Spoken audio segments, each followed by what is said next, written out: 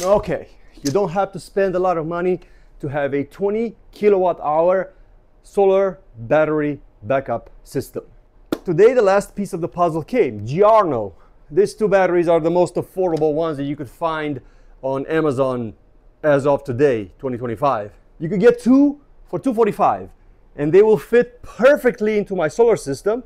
I'm gonna show you the integration and I'm gonna run a couple of tests on them to see if they can perform with all the other brands that I have. So what's the huge attraction for these batteries?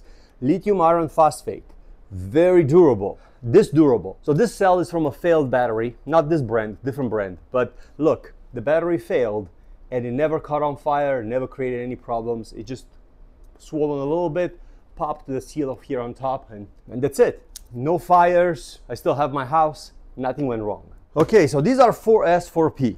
And even though clearly states in the manual they should be 4S, 4P, I'm actually run them in 4S, 8P. And even though it's not on the manual, you can.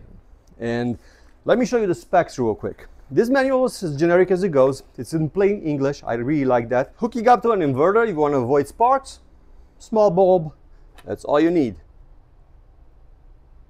And here it is. We're pulling 1445 watts out of this inverter, out of this battery. So that's way over 100 amp, which is the maximum rated uh, continuous power. And of course, we're gonna test it out to see if it can handle the 200 amps for a couple of seconds. And I think it will do it even longer because I've never been surprised how good these batteries are. So I'm gonna pull 2100, two kilowatts out of this thing, which is way over the uh, 200 amp hours for three seconds that these batteries are rated. And they're absolutely unbelievable. I'm actually over the rated power of this uh, inverter, 2000 watts, and I'm already pulling 2100 with this resistive load and uh, charging. Don't get fooled by the terminology of smart BMS. Uh, these BMSs in this GR are smart.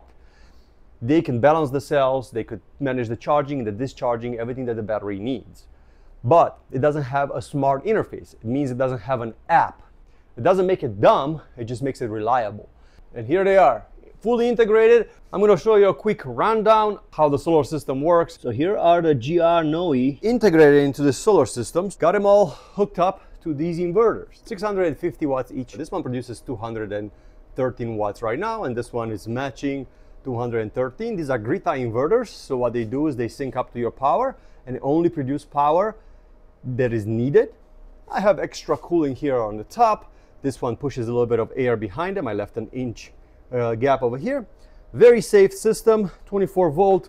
You could touch any of these terminals without worrying about anything. I'm running basically 800 amps over here. You could touch these terminals because the voltage is what kills you. These are controlling the DC voltage into the inverters. These are charge controllers, 100 amps each. Right now it's early in the morning, so this one is doing 20 amps. This one is doing 35 my house usage is 620 watts right now, so that's what my house uses. And this is a little balancer, so this tells me that right now I'm pushing power to the left side of the batteries because these batteries are 24 volt. It's a 12 volt and a 12 volt. That's how the GRNOE are hooked up exactly.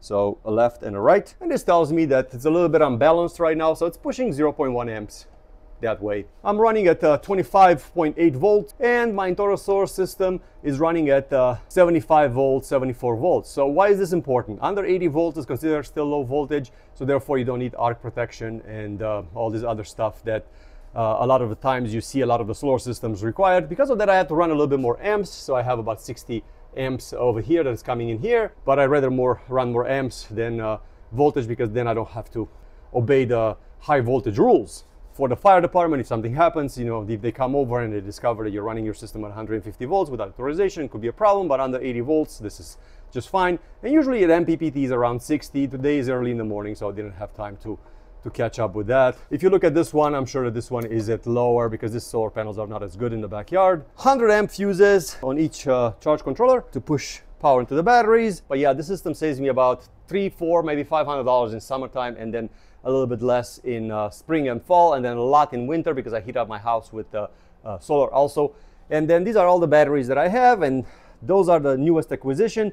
Those are the last piece of the puzzle, the latest one that I waited to go on sale. Seems to be a really, really good battery. I'm gonna bring you a little bit of a later video with the GRNOE to see how they integrated with all my solar stuff over here. How do they handle stuff uh, in time? How do they get along with the other batteries? But I foresee zero problems because these things are quite amazing.